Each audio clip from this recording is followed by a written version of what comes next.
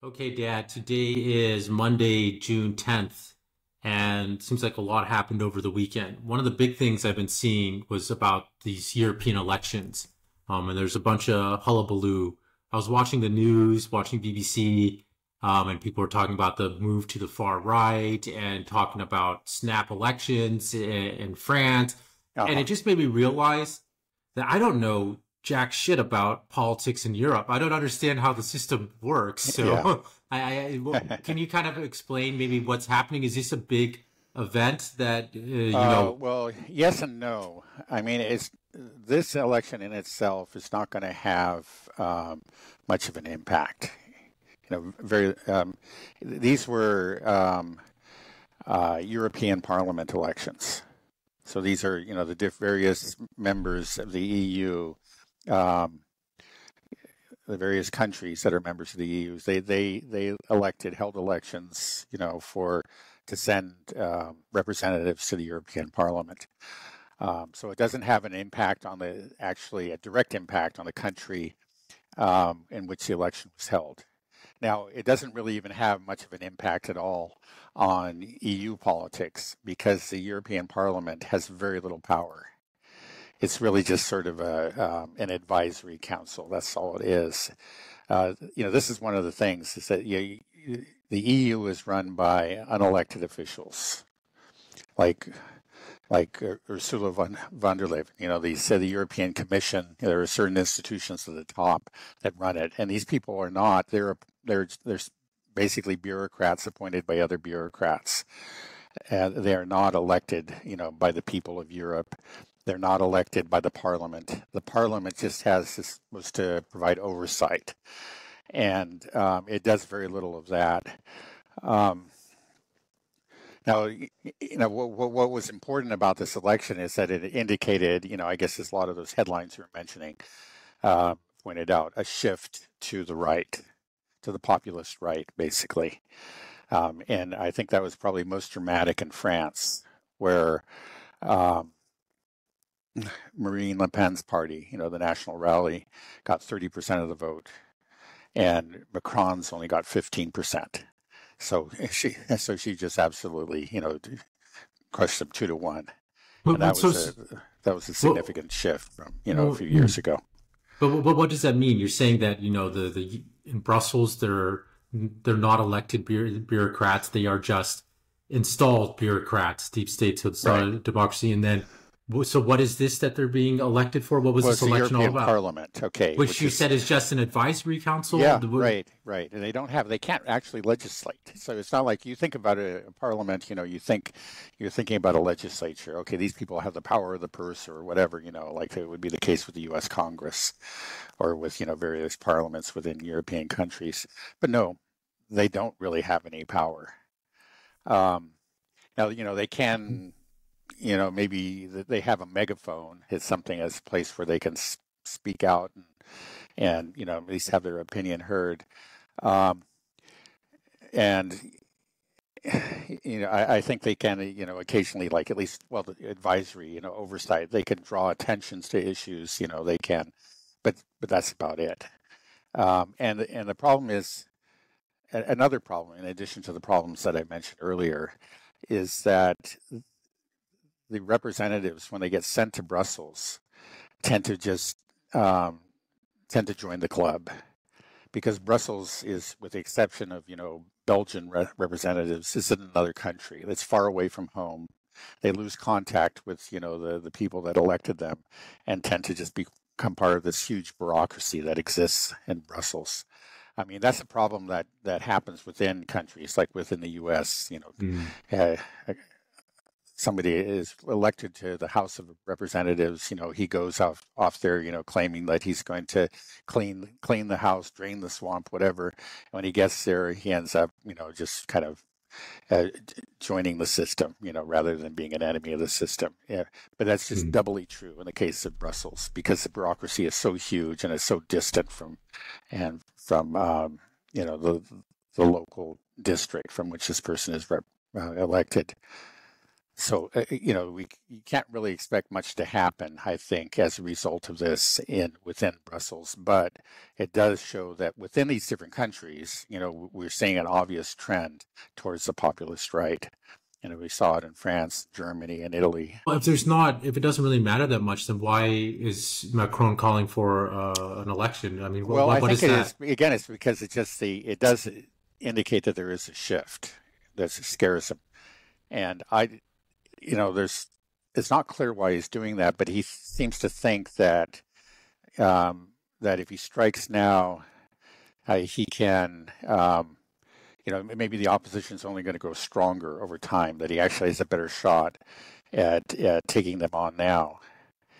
Uh, but if he that, lost that, by, you know, yeah, double right. of Marine Le Pen, it seems like, ooh, this is not a good time, right? Yeah, You're yeah, it's not, it's not clear to me what he's doing, but I, you know, that's, you know, why is Rishi Sunak calling a snap election. I think it's just maybe that they, they figure that things are going to be even worse down the road. They have actually maybe, a better shot. Do you think maybe they, they just the, want out and they're like, maybe this is the way to? well, that's the rumor right? about Macron that he actually just wants out. Yeah, you know, maybe. Yeah. but you think these people, once they're in power, you know, they always say they never want to let go, so it's kind yeah, of hard to right. believe. Yeah, well, they say about Macron that he really wants to be emperor of the universe, or uh, at least of Europe, or something. So, so, so the idea is then, so there will be an election, and uh, is this a presidential election that will be called in France? Uh, that... No, I think the president. No, it's just a parliamentary election. Uh, the okay. presidential election is going to be held in 2027, so it's quite a few years, um, you know, in France. But he could potentially, he actually could call a presidential election earlier. He just hasn't done that. Okay, so is this a big deal? You are just kind of it just it just seems from what you're saying, it almost right. sounds like it's kind of a sort of getting the barometric pressure in Europe, seeing which way the winds are blowing. Yeah, yeah, yeah, yeah. Right. Um, well, you know, in France, if we're going to have these parliamentary elections, it looks like uh, Marine Le Pen's party is poised to do quite well, um, and uh, you know, again, Macron's part, party is going to do very poorly. So that will that's got to make a difference. You know, this is actual real parliament we're talking about. Um, yeah, I guess it's the National Assembly that we're talking about in France. Well, I mean, Marine Le Pen, she's uh, she's more of an anti-war candidate. She doesn't want to support right. the war in Ukraine. That's what we're seeing happening in Germany as well. It seems like right. democracy is kind of working in the sense right. that the people are finally getting their voice heard and saying enough is enough. So, well, what again, is this? Yeah, I mean, I think uh, actually that Ukraine was probably not a you know was not an insignificant issue in this election, and it was something that definitely hurt the establishment. I saw a poll that came out just a few days ago that showed in in Europe, eighty eight percent of the population. Let, let me get this right here. Okay, believe that NATO member countries should push for a negotiated settlement for the war in Ukraine, and then the mm-hmm. number of the percentage of of uh, respondents who said that you know that the U.S. should try to, uh, or not the U.S. but NATO should try to regain all lost territories. That should be their main objective, or or actually to uh, cause regime change in Russia. It was just very small. It was a tiny mm-hmm. minority. But of course, you know, among elites, that's what they're talking about. Uh, so it's just it shows how much out of step elite opinion is with popular opinion, and I and I think that's one of the reasons that we saw the shift to the populist right, because in general, it's in most countries it's the populist right that's that espouses you know the uh, you know the anti-Ukraine. In other words, let's disengage from Ukraine to varying degrees. So you know. Uh, Marine Le Pen says, okay, well, we could sell defensive weapons, but none of this stuff, you know, no weapons that are going to go into Russian territory, and let's let's push for a negotiated solution. Mm-hmm. So it's not a radical, you know, like pro. They, she's always described as pro-Russian or something, or Putin's puppet, of course. But um, right, um, it's just it's actually a very moderate position, but uh, one that I think is much closer to the, the way the the population in France thinks. Yeah, well, I mean, the, the, the two kind of most hawkish countries, pro-Ukraine countries in Europe, you can argue would be France and the UK, and both of them are now having snap elections. Right. Um, so, yeah. it, do you think that's largely because of that Ukraine uh, support? Uh, in and the case then... of France, I think you could say I think it is a, a, a major, a very important factor, you know, in explaining the the recent recent election election outcome, and therefore you know the snap election. Uh, but in Britain, no. Unfortunately, um, there really isn't an alternative in Britain. I mean, it's it's basically, you know, Labor and the Conservatives, and there's there's not in uh, you know a hair's breadth worth of difference between them on. It's like the U.S. Policy. the Uniparty, huh? Yeah, right. It's the Uniparty there too. Okay. Um, well, I, so uh, how, how is uh, Zelensky, you think, taking all this? He's got to be shaking in his boots a bit more if France was the one that was kind of pushing for NATO troops, and yeah. now yeah, you're no, seeing it being flipped it around. Has to be another blow against, yeah, because right, Macron was one of his biggest supporters, and mm-hmm. uh, Macron's still there, look- but I mean, his position doesn't look as secure as it once was. Just let's say that. So right, yeah, and I've also the, been seeing some headlines that in the West, even kind of saying that oh, questioning the legitimacy of Zelensky, saying that he doesn't, he's not really the one in charge. Um, I don't uh-huh. know if uh-huh. you've seen any of these headlines. Yeah. Um, but it sounds like it's cracking more. So I don't know if you have anything to throw in there, any updates that yeah, you've heard. Well, I think, you know, in general, it seems like the establishment is still solidly behind them, but but there are dissenting voices, I think, even within the establishment on that. And that's why we get these these, you know, leaks and these discussions in the, the mainstream press. Um, yeah, I think you're referring to the kind of the uh, the power behind the throne. The, is Yermak, I think is his name. Um, he was a, a, film producer, so he was in the entertainment industry in Ukraine. You know, just like uh, Zelensky was, and uh, he's been, you know, kind of a sponsor. He's always been kind of his, you know, lurking in the background. Um, but now I think increasingly he's kind of stepped out of the shadows. Uh, generally, that's where he likes to stay. But you know, he's made some appearances in recent tr- trips um, to foreign countries, and um, and there are complaints that are coming from Ukraine and being reported in the West that he actually has more power than Zelensky. You know that the, the man is is very ambitious and is. Uh, um, yeah, you know, maybe eventually is, Zelensky is may turn into a puppet. You know, not just a puppet of the United States, but the puppet a puppet of Yermak. The double puppet. Okay, interesting. Um, well, seeing how we're talking about politicians and um, elections and all these changes, maybe we can talk a little bit about uh, Benny Gantz resigning and the significance of that.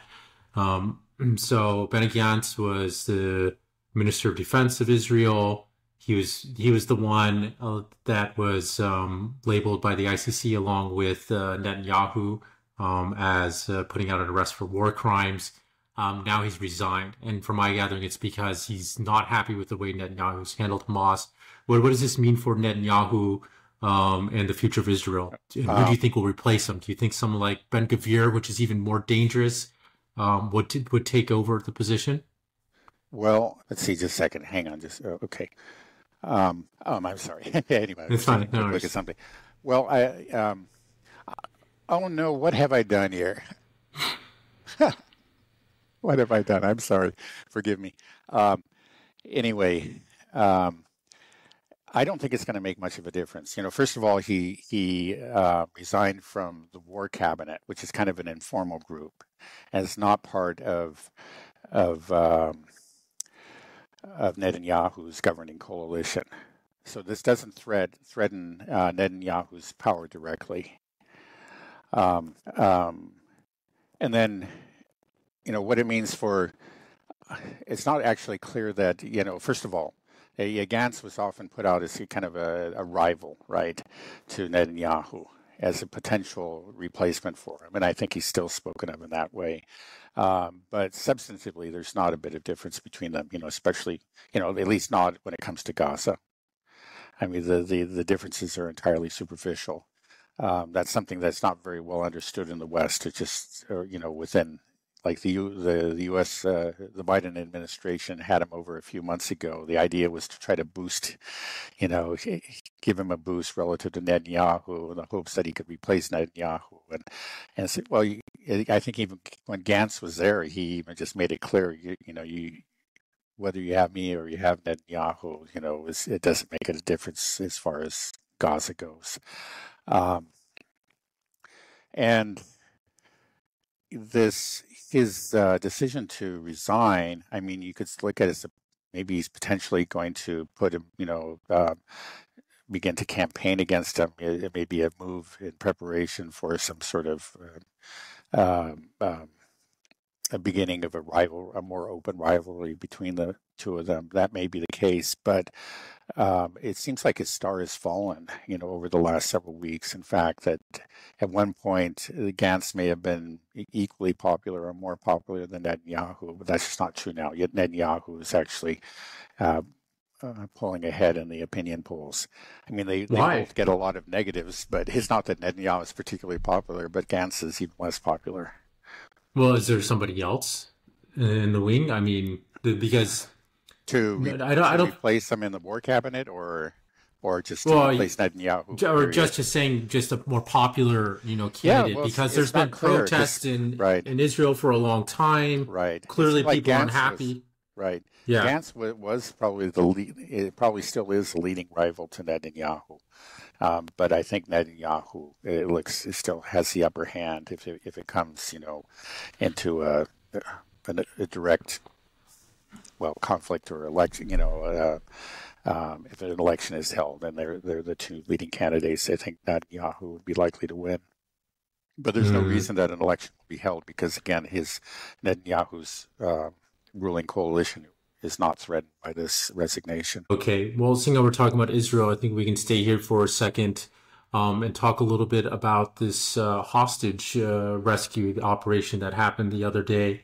Um, I was watching the news, and the news was, you know, Fox News and MSNBC talking about this heroic effort uh, done by the IDF um, and how they saved these four hostages from these horrible conditions. But I think many of us are pretty appalled at what happened. Um, from my understanding, over 270 people were killed, mostly women and children, um, obliterated.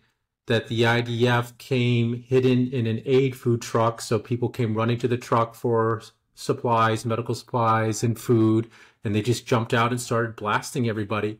Um, and then there's also rumors about uh, the U.S. Special Forces being involved, and this humanitarian pier was kind of a, a little jumping off point for this uh, operation. Um, I don't know if you've heard any of these rumors okay, or have anything I, to add. I've heard I've heard the rumors. You know, I was just checking in on that the rumor about the pier, and as far as I can tell, that did not happen. You know, mm. maybe let's it's still all very recent and whatever, but it, but there hasn't been any. I haven't seen any solid evidence. Um, I would and, think that they wouldn't trust the pier. It's, it would fall yeah, apart right. if they try to launch well, an you know, operation. As far as, as far as I knew, it wasn't there. It had been towed off to some, you know, to the harbor, and that I'm surprised that it would be back there and actually in working order. Or maybe there's pieces of it that they could use it for a helicopter. I don't know. Yeah. So yeah, that's a good point. I don't think it's even functional at this point. You know, they they just started. A few trucks got off the pier. You know, before the whole thing broke up. Uh, you know, a few weeks ago. Um, but I don't think it was supposed to be ready by this point. It, I, it's probably still going under repairs, or maybe they're just in the process of reinstalling it. So I don't think that happened. I think, um, but wait, wait, hold on. What just you say really about quick. the appalling loss of life? Um, yeah, there's no question about that. Um, yeah, I I think you know according to uh, the Hamas government or the you know, the Gazan authorities, those 274 people were killed um, to rescue four Israeli were, hostages. Weren't, weren't, four hostages also killed by them? So they killed, or so, I think I heard, heard three were, but you know, when I I haven't been able to confirm that. You know, again, that's mm. rumor. I don't. I heard uh, I heard something about an American hostage being killed. You know, by the, uh-huh. which you know, yeah. I mean, it's We'll just have to say that's just... confirmed at this point. Four were rescued. There's no question about that. And then 274, you know, according to the Gazans, were killed. The Israelis said, "Oh, it's not that much. It was under 100." I think when the Israelis say under 100, is probably like 274, to be honest. And and mm. what the fact is, like you know, the photographs, the, the video footage that's come out just seems to yeah, yeah support. Um, mass carnage, mass destruction. Um, and you know, the, apparently, like the, these these hostages were in an apartment building close to this refugee camp, um, and you know, yeah, the uh, the Israeli soldiers, you know, were disguised, I think, as as local Gazans, and you, I, yeah, I also heard that they came out of a a relief truck. Um, mm. You know, I've heard that at least from a couple different sources. I'm not it's not completely confirmed in my mind, but but that's probably what happened. Anyway, they were disguised. They entered this building. They they rescued these hostages, but in the process of rescuing them, or you know, is it, it seems massively you know excessive. But they actually just totally destroyed the the apartment buildings on both sides of the apartment building in which the hostages were. So those are just piles of rubble now, and everybody that was in them, you know, eh, they're they're all dead. Um, and eh, coming out, yeah, they just you know they just blew up everybody. It was not just you know gunfire. You know, well, of course, you know the the, the buildings were taken down by um, I think by uh, uh, air to surface rockets. Um, um, yeah, you know, I've never seen anything like that. I've, I've, I can remember different hostage, you know, rescue operations over the years, including a very brave Israeli one at the Entebbe airport in Uganda, um, which was back around 1980 or so. Uh, but there was, you know, there are I don't know if any civilians were killed in that, you know, or if they did, then the numbers were very few. I mean, this is just something that on a, I've I've never seen before. It, it so seems like you have to go in order to. I think it was almost. It's hard to believe that it was any. You know, clearly they, they weren't concerned about the lives of these people, but it almost seems like it didn't even.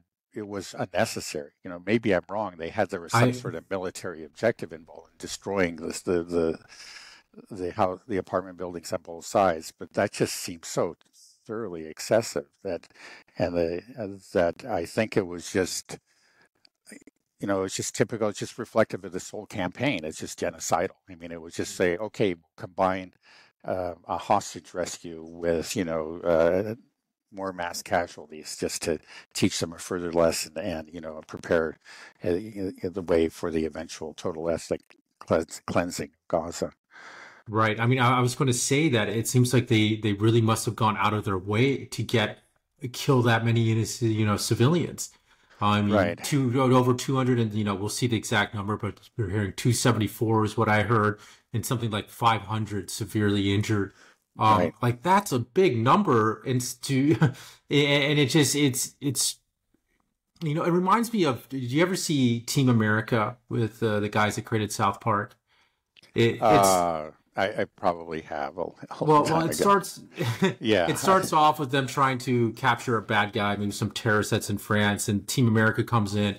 They blow up the Eiffel Tower and Versailles and everything, you know, like in the yeah. process. And then at the end, they're all high fiving each other, like, we did it, we saved the day, you know. Yeah, Spirit. Right. That, that's what this feels like, you know, because I'm seeing on the news and Fox News, like, oh, these, they're heroes, look what they did. It's like, you guys just massacred hundreds of women and children, you know, body parts strewn on the streets. Right. How can we right. be celebrating this? This is a war crime.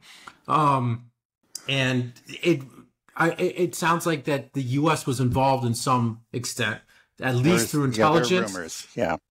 And, and, I've been hearing rumors about even U.S. Special Forces being involved. Have you heard anything about that? That I haven't heard. I just heard that they maybe, yeah, that. Okay, we'll put a pin in that, and not make any yeah. Yeah, I, am just wondering when this all shakes out, you know, in the horror, in the horrible way it is, that if we will, if there will be any accountability for American leaders, um, if we will see, uh, you know, war crimes being charges being uh, pressed against uh, our, own politicians. Do you think that would ever be possible?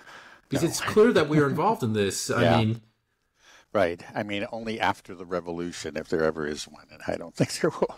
Not in my lifetime, I don't think. Oh, yeah, yeah. It's just, it's just so yeah. crazy this this hostage situation, and just it, it made makes me sick when I hear just see people on the news just talking yeah. about yes, we did it, how brave right. they were, and we saved these people. Right. Look, I'm well, happy I, the I, hostages are re- are out and returned, but you killed hundreds of innocent people doing right. it. That's not a right. victory. We can't right. celebrate you know, you this a, yeah, as a win. You have maybe three, a few happy families in Israel, and I understand why they're happy. Um, but you now you have an additional, you know, hundred hundreds of grieving families in Gaza, and unless you just think that you know that these people's lives are somehow, you know, are worth a lot more than the, the other people's lives, you know, you you can't say this was a good outcome. Yeah, yeah, it's crazy. Um, okay, I, I, think I want to try to pivot a little bit um, from Israel, unless you have anything else you want to add. Um, no, I don't think so. Any yeah. any news about uh, a Lebanon invasion? We're still just kind of waiting. No, it's still. Oh, oh well, actually, maybe I will add a little bit because um, it's it's um, you know apparently there has been a lot of exchange of of uh, uh, you know rockets and missiles across the border, and um, th- these haven't been random attacks. You know, it has, Hezbollah has been going at this very systematically. They've been simply just uh, destroying, you know, one monitoring post after another. You know, first very close to the border, and they, I think, they managed to do that in the first couple of months, uh, and then they started going deeper. Recently, they've made strikes. Actually, they hit um, an Israeli air base to the south of Haifa. That's about, mm-hmm. you know, 30 miles from the border south of the border. And then they also hit one around Nazareth. Okay, that's about the same distance. Um, and then, yeah, and around this, yeah, just a few days ago, they actually uh, struck and apparently destroyed an Iron Dome um, system. I Again, saw that on. Yeah, I saw on X, but I wasn't sure if it was verified. Yeah, no, I've, uh, yeah, I've, I've, seen that elsewhere. Um, but you know what I've what I've heard is that they pretty much, you know, that that, that the Israelis now are um, at a great disadvantage, or they simply they don't have the the the facilities, the surveillance capabilities that they had at this, you know, on October seventh. That Hezbollah has has simply eliminated them, you know, close to the northern border, and that just means that it's going to be much more difficult for the Israelis to go in. Um, now they're still making noises about it. Um, they've made noises about it in the past, you know, about launching an, an attack on or an invasion into Lebanon. It's just that it became the rhetoric came very heated a few days ago, um, and you know more so than in the past. And there was, uh, you know, you had generals saying that we've got it's time for war. We're doing it now, and and we're still waiting. You know, maybe it'll happen. You know, who knows what what kind of discussions are taking place, you know, in the yeah, behind the scenes. Uh, we'll just have to watch. Okay. But you know, it's it's uh, it's just interesting. Again, Hezbollah is not Hamas. Hezbollah can Hamas can can do damage. You know, you can get the occasional tank or you know or Israeli soldier, even an Israeli platoon or something. But um, but Hezbollah can do a lot more. It can do damage uh, and has done serious damage to Israeli military infrastructure. Okay, well, well, it all sounds pretty scary for the Israelis. We'll, we'll wait and see what happens. Um, I wanted to go back sort of to the U.S. domestically here. You know, we, we both watched that uh, uh, Tucker Carlson interview with Thomas Massie. Um, Thomas Massie is now the coolest guy that I know of after watching that interview. Um, but uh, he said some really crazy things that I just wanted to, you know, explore with you. Um, uh, and one was just him talking about how everybody in Congress, except for Thomas Massie on the Republican side, has an AIPAC guy.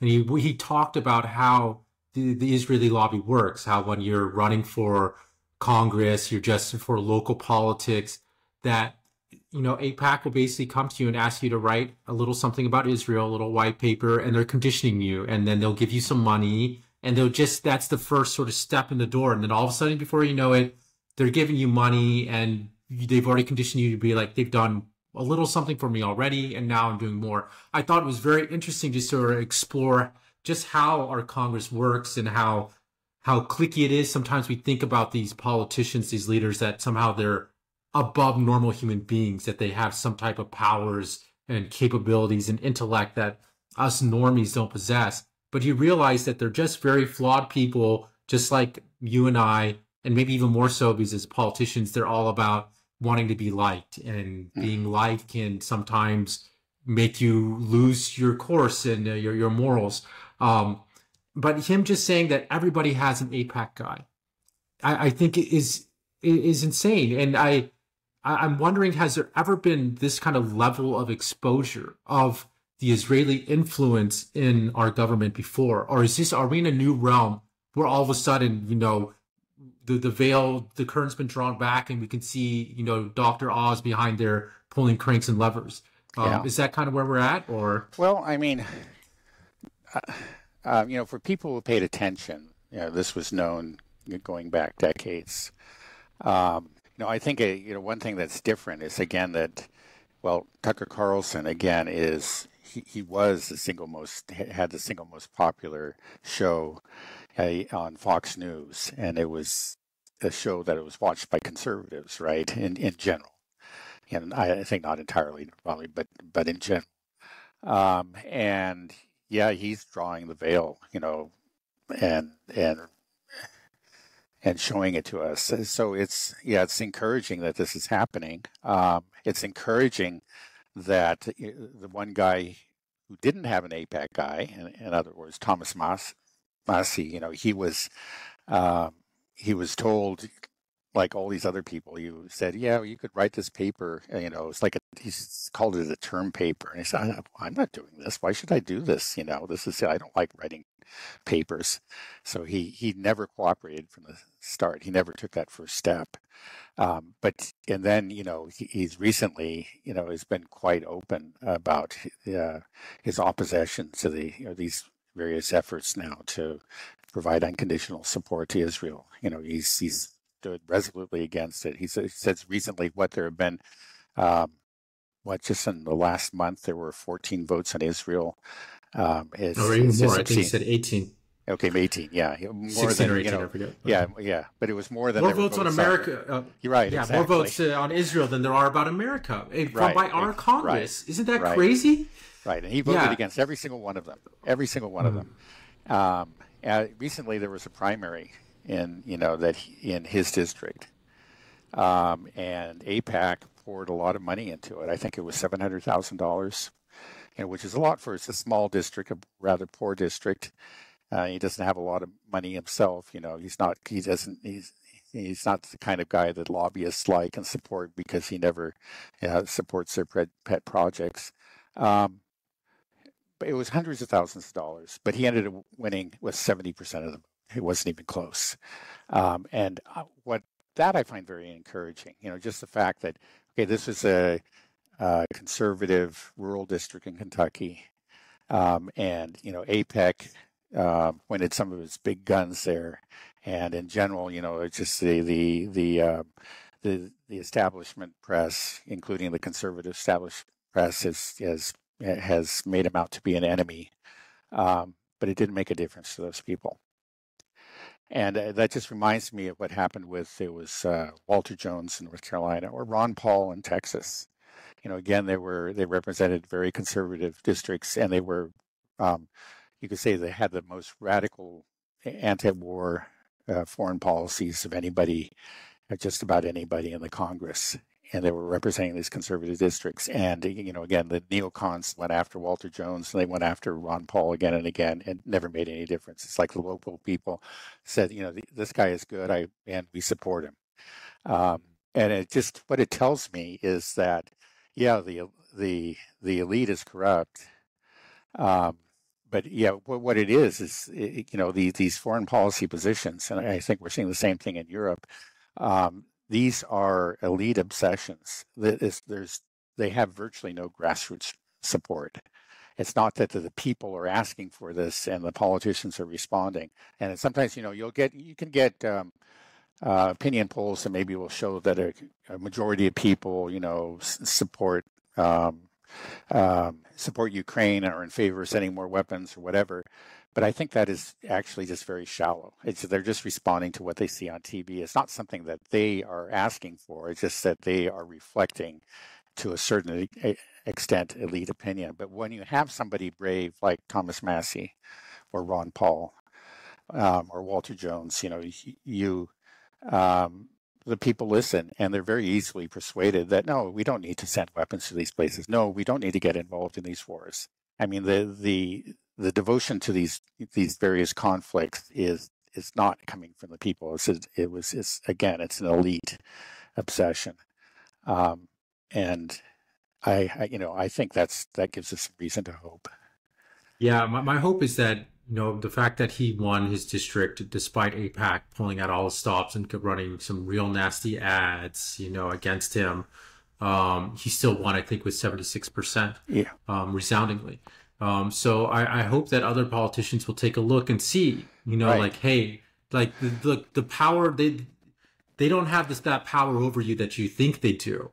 You know, Right. that you're scared of it, but you know, you break the trend. I think a lot of people see this, you know, like if they get canned from their mainstream media job, like, you know, Tucker Carlson and you, you, or, or, or whatever, you find that actually it can be liberating, you know, Candace Owens with Daily Wire, whatever, that now they're truly free and they can, uh, um, you know, that, that, that, that's actually very appealing to people. People like that. You know, people don't like, people are aware now that there's handlers behind all these institutions that somebody's running it. It doesn't feel right. And now you just have somebody that's honest, that's not beholden to anybody, and that resonates with people.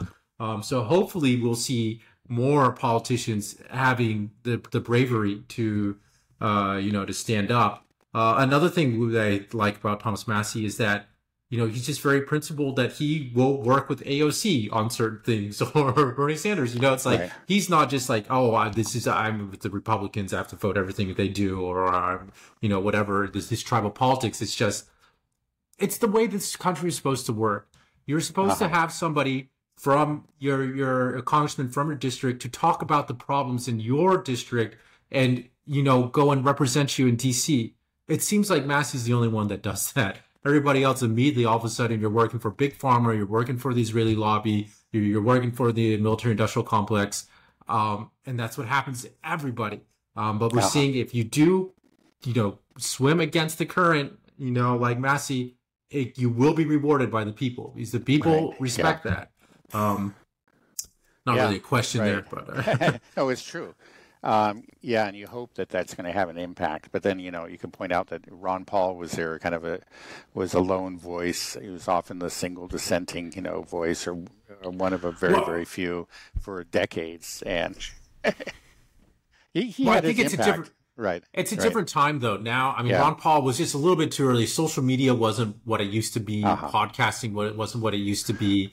Um, and also just Israel isn't what it used to be exactly. I mean, what, what we're seeing now happening in Gaza and the exposure of AIPAC, um, and the Israeli lobby, I think it's, I think the awareness of Israeli influence in our government has never been so pro, prominent in, in, in our society than Oh, now, right. right. Would you say that? Right. Uh, I think you're right. Yeah, you know that's something that that's That's a yeah, big problem for Israel. That's Right, you know, that's why, and the this is what it is. Then that they start freaking out about it, and then it Right. becomes even more obvious. Right, it's like, right, oh, right. yeah, well, you know, Yeah. why, why is why is a foreign country Yeah. paying all of our politicians off and Right. making Well, now our again, politicians do many, I don't know homework? how many people watched that interview? How many millions of people? I think I- it was I- like six million last I checked. You right. know? And uh, yeah, a good thing is probably a lot of those people are Republicans.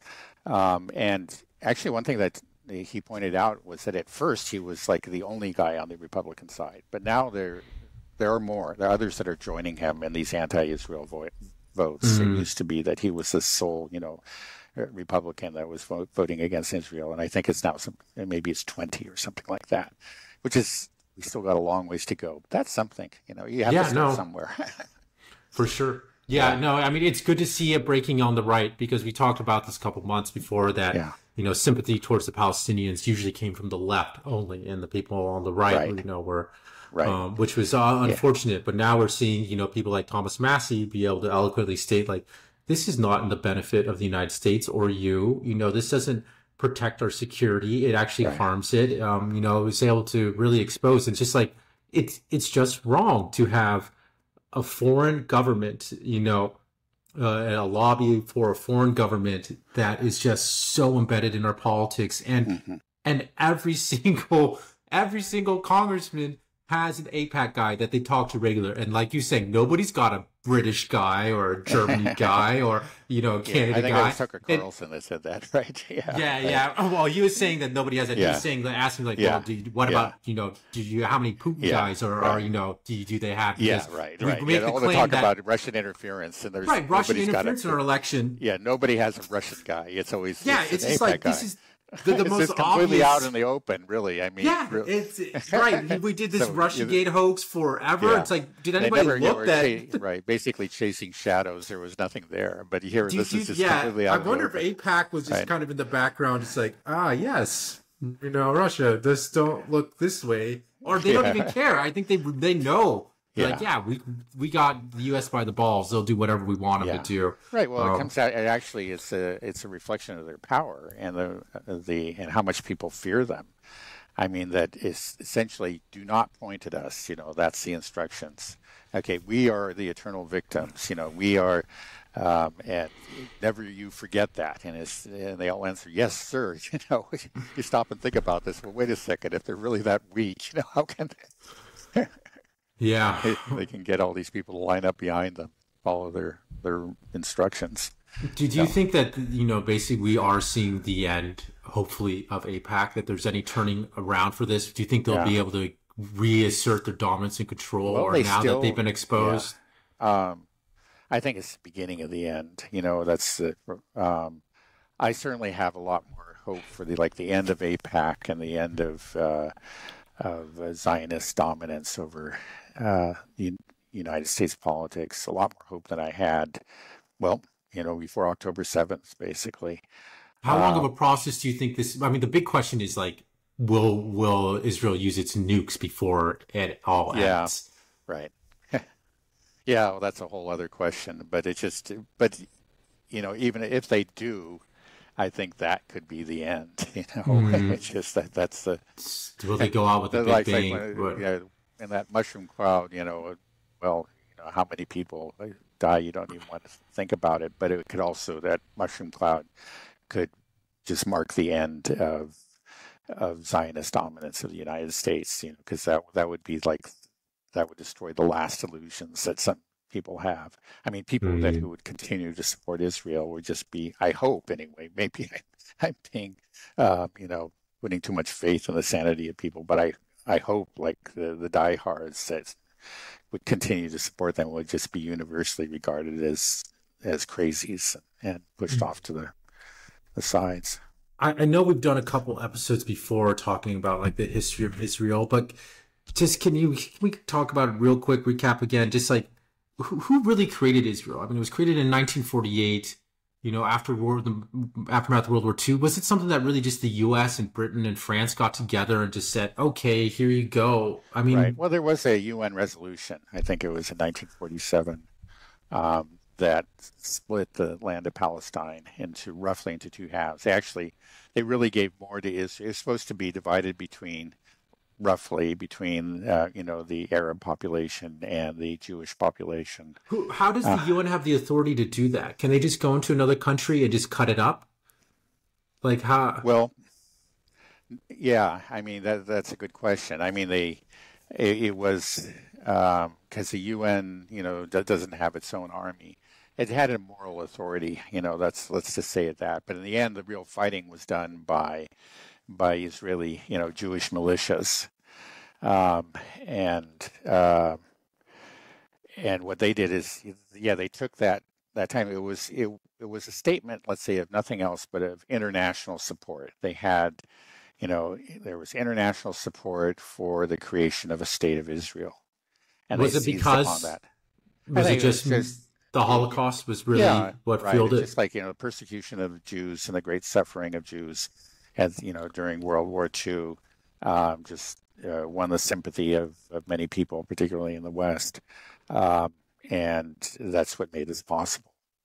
Um, well, I mean, that's partly what it made it possible. There, you know, there was a push for the push going all the way back to the the, the uh, birth of the Zionist movement in the 19th century. Uh, Theodore Herzl. Theodore right? Herzl. Right. And then what we had actually like a British intention to create a homeland for Jews in Palestine going back to the early part of the 20th century, the Balfour Dec- Declaration, which was roughly what 1918, something like that, around the end of the Wor- World War One. Um, so there was there were already forces in play, um, and and and uh, Jewish migration to Palestine had already begun, and there were already you know incidents, clashes. Of, you know, there were already settlers in in Palestine, like during the 20s and 30s, um, and it was just it was World War II. The the the outcome of World War II that just gave it a big boost. There was again, you know, sympathy on the international front, and then there were a lot of uh, Jewish refugees that that were uh, taken by ship to Israel, and you know were um, um, you know greatly boosted the population there. Um, so you know, again, this was uh, you know, it has to be pointed out that whatever happened in Europe, the the Palestinian people, the Arabs who lived there, had nothing to do with that one way right, or another. Right, right, right. Um, like take it out of Germany, you know. yeah, right. Uh, yeah, and it's I, you know, we can go, uh, uh, but uh, yeah, they, they the, the, Jewish militias, you know, launched these attacks, and a lot of them, you know, in some cases they, you know, they, it was uh, just a matter of you know driving people out of towns, um, and the various yeah, villages I, out. In, in some cases, they committed massacres. Like Deir Yassin, I think 200 civilians were killed in that village. but hmm. that was all part of the same program, you know, we'll do a massacre here, a massacre there, and you know, the news will get out, and they'll start running in terror, and that's, and that indeed is what happened. And some of them fled. You know, those who were in the south fled into what is now Gaza. I mean, just virtually everybody in Gaza is um, either a refugee from that time or, a, you know, the child, grandchild of refugee from that time. Um, so they're all now they're doubly and triply refugees. You know, they've been driven from the homes that they had in Gaza into other parts of Gaza, and it, it just never ends for them. That's part you know, it's a horror upon horror for them. Um, and yeah, and the West Bank, uh, that's the, many of them ended up what's now called the West Bank, but others were driven directly into Lebanon, and, there were refugee camps there in Jordan. More than 50% of the population of Jordan is actually Palestinians, people mm-hmm. that were driven off the off the land. In, you know, yeah, I remember Israel. Yeah, when I was in Jordan, I felt like everybody was Palestinian. You know, every taxi yeah. driver yeah, in Jordan was really Palestinian. Yes. yeah, right. Um, yeah, I'm just more more curious about under what authority was the state of Israel created. Like, I didn't know that the UN could say like, okay, we're going to create a state, and then it, it gave it that authority. Right. Um, now, you know, the, the, Israelis, the, okay, they drew these boundaries. Now, the Israelis did not respect those boundaries. They, I should say the Jews, because this was even like before the creation. These Jewish militias, they did not respect. They, it was roughly fifty percent, even though more than half the population was Arab. So even then, it wasn't really fair. Um, you know, the Arabs didn't see this as fair. And this is, we get wait a second, this is our land. Now you're just going to yeah. give it, you know, you're going right, to give it to who, another who gets, people. Who gets to uh, say? The UN just could come in and draw? Right, they just draw a line right. on a map and say the people living there, there have to abide by and there was no license to drive the people off the land either. You know, say, okay, this you'll have this land, but they, you know, they drove drew the line. So let's say within this area, the majority would be Jewish, and the other area they'd be almost entirely Arabs. And you know and you were supposed to accept that well people who are living here already you're going to have to accept them as part of your new country. Um, and it may have been like 30 30 40 percent of the, the people within the the you know the the uh, declared state of Israel were Arabs. But the I think it's clear that the the Jews back at that time decided we're not you know we're not going to let that many Arabs yeah, we're going to try to get as many of them out of here as possible. Um, inter- you know, an interesting kind of uh, it's a little bit of a tangent, but not much. Uh, the Nazareth was Nazareth. You know, this the city um, where Jesus lived most of his life, um, where he was a carpenter, is or was, you know, and I think to a fair extent still is a, a Christian city. It was Arab Christians, Palestinian Christians, and um, but the, it, it, the militias actually were drove the attempted to drive the residents out of Nazareth, just as they were, you know, driving out of all these other towns and small cities, and you know, and to the to the west, or rather to the east. Um, but the they realized, you know, there's some there was some message came from a, a um, type guys don't do this to Nazareth. And they actually turned around and brought him back. And I think, and the reason is that um, American Christians in particular, you know, certainly eh, and Christians around the world understood what Nazareth was, and so this could not be part of the cleansing operation because it would simply be too obvious. You know, there was these were people. It would, you know, it, it would it would uh, put a spotlight onto the certain aspects of, of the Nakba, this cleansing operation, and so Nazareth uh, was one of the places where an Arab population was allowed to remain, um, and to this day is still largely an Arab city. Yeah, you know, I, I was just wondering because you know I was just about how how a state can be created like that. Like, how does a new country get created in, in these these times? You know, um, and, and I I was listening to a podcast with uh, an interview with Jeffrey Sachs, and he was talking about um, Serbia and Kosovo, um, and I found that whole thing quite interesting as well. I realized I didn't know much about this. I mean, this happened during my when I was alive. I was only uh, two years old, maybe during the the Balkans War. But uh, maybe you can tell me a little bit about that, just because I'm curious. From my understanding, um, basically NATO and the West wanted Serbia to, I believe, join NATO, um, but Serbia was like, "No, we're not really interested." And then we're like, "Well, that's not okay. You have to basically do what we want to do." So we bombed Belgrade for like three, two or three months, um, yeah. including the well, Chinese was, embassy, and yeah. then created a, a, separate state called Kosovo, where we installed the largest NATO base, you know, that in Eastern Europe. yeah. Uh, well, you were more than two years old. It was, I remember it happening, what, 1999, 1998? Oh, was okay. So yeah. 10 years old. Right. right. Um, it was, um, yeah, Serbia had already, I think, had part had been broken up, but there was still Serbia and Kosovo. Kosovo is a, a, a it was actually historically a part of Serbia. It's actually, I think, where the the you know like uh, um, the historic seat or or um, um, uh, where the Serbian people, you know, from where the area from which they originated, um, but over time, you know, because of the Ottoman invasions, it became Muslim, or largely Muslim, not entirely Muslim, but largely Muslim over time. Um, now, there there had been conflicts that broke out prior to the you know the attack on Serbia, um, and then there were claims. This was under uh, Bill Clinton that that in fact the Serbs were committing a genocide against um, the the Kosovars. Um, now, uh, yeah, one person who's done some very good work about it, who actually went uh, to Kosovo, you know, when these claims were being made, was Diana Johnstone, and she's written, uh, I think, a book about it, and uh, and has done written quite a few articles. But she went there, and it just this was not happening.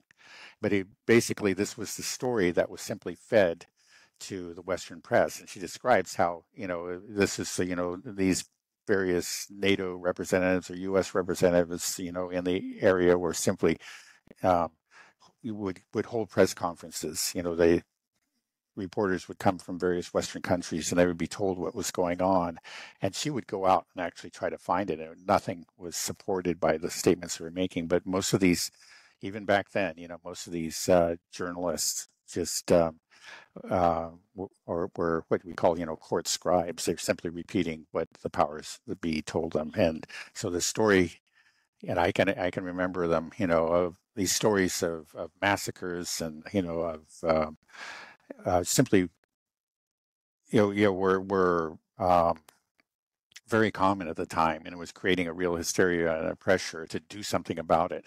So this was one of those first uh, what you call well, it was a um, liberal interventionism, uh, the right to protect. You know, it was it was uh, military action that was, uh, you know, based on or, or, or, justified in terms of some sort of, of saving a, a local population. Uh, now, you know, again, like subsequent investigations, and ever, you know, these these fields that were supposed to be um, uh, mass burial sites or whatever, they were never found. It never happened. Um, but it was used to justify this two month bombing campaign against Serbia. And it was actually during that two months of bombing, you know, relentless bombing of Serbia that um, that the Chinese embassy in Belgrade was um, was destroyed. and you know f- four embassy members were were killed, and that's something that the Chinese are angry about to this day. Well, well, so if there wasn't a genocide going on, who made up this story and why? Why? What was? Why did they want to bomb Belgrade? What was it? Why were they so pissed off at Serbia? Surely there had to be some motive, right, to to create this state of Kosovo, right? Right. Was it from what I understand from Jeffrey Sachs? It was just basically because NATO wanted to to go into Serbia and Serbia wouldn't let it. Um, is yeah, that well, I think that's right. It's just that there was some resistance. One thing is that Serbia has been a historic ally of Russia, and that remains to this day. You can see that Serbia is one of the holdouts in Europe. They, have not joined the European Union. There's been a lot of pressure, um, but uh, they've resisted it.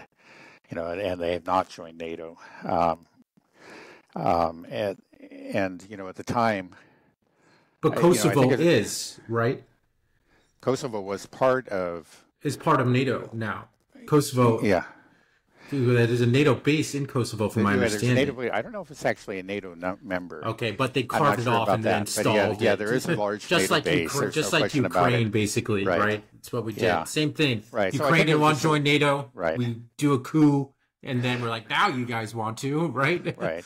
I think it was just a part, you know, part of the effort to to weaken Russia, who was seen as a Russian ally, as a potential, you know, problem state, and it has been a problem state, so-called. You know, recently, you know, when Xi Jinping came to Europe, one of the few places he visited was Serbia, and mm. uh, you know, the ties between Serbia and China were strengthened. Um, of course, that's something that, again, you know, the the EU, NATO, uh, they're not happy about. And it may be, you know, they even back then there was an awareness that Serbia was again a kind of a, um, you know, I, I, again just a, a, one of the countries that was not cooperating in the Greater Europe project. So, so was Kosovo? Was it just created, uh, became a state because the UN drew the lines and said this is it, and now it's. Uh... Yeah. Well, the UN it was never, you know, certainly.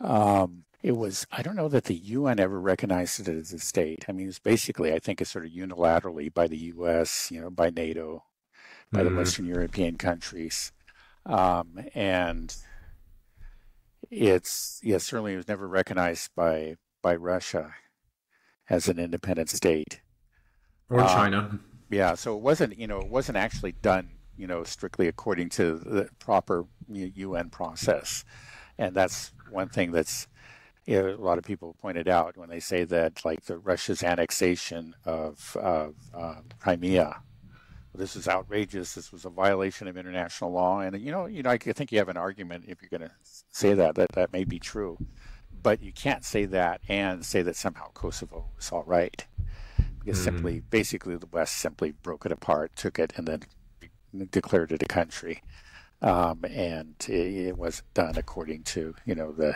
again according to international law.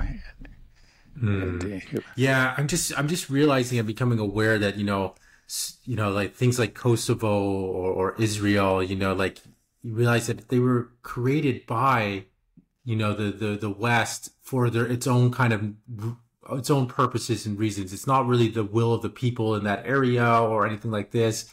You know, with Kosovo, it was to you know to hurt Russia, to uh, try to punish Serbia yeah. for being supportive right. of Russia. You know, probably did get a fair amount of support from the people within the Kosovo province, the mm. Kosovars. You know, they I think they did want an independent state. So it's not there. They were building something. Of course, in Palestine, you know, there was it, it was the Jewish population, though it was a minority at the time. They, there was a basis for it. Um, mm you know, it doesn't make it right. I certainly don't think it was right, but that's, you know, it's not something simply declared from the top. You know, they they, they decided to empower certain forces on the ground. Hey, I think that's what he, how it mm. should be hmm. described. Man, there's so much to learn and know about the whole world. Just, you know, I nobody's got enough time. You know, I'm just, it's just like I'm peeling back layers of the onion. I'm always going back yeah. and like, you know, and it's, so it's it's been a it's, I mean it's just in doing this podcast so far I feel like I've just been learning so much and going down these different rabbit holes uh, and I don't know where, where they're going to lead. I mean the the most incredible rabbit hole that I've gone down just through this podcast with you so far is just is really I can't get over the Israeli lobby and its influence and yeah. the whole state. No, it is extraordinary. It's incredible. Yeah, no, right. It's it's hard to exaggerate. You know, um, it's it's it's outrageous, and it's been. Has anybody made a great movie about this? Like it would be oh, so oh, no. interesting. oh, I mean, they yeah, is all the Jews own Hollywood. Yeah. Right. But yeah, no, I think that's uh, but but that's, I mean, so hopefully we're going to get exaggeration, right? yeah, but I would say Zionist, but hopefully you know uh, you know more and more uh, you know Jews break away from the grip of Zionism, and we can start to yeah you know Again, that's you the, are seeing that apparently in the younger generation, right? And so that, that could have enormous consequences down the road. Maybe we can make a movie once uh, this, you know now that we got AI, you know, hopefully we can just do it on, on, on like that Sora AI, just write our whole whole screenplay, and uh, we'll worry about that later. Okay. Anyways, I think we're now we're I'm starting to ramble a bit, so maybe it's good to to stop it here. We're okay. already over and out. Okay, Dad. Thanks a lot. All right. No problem.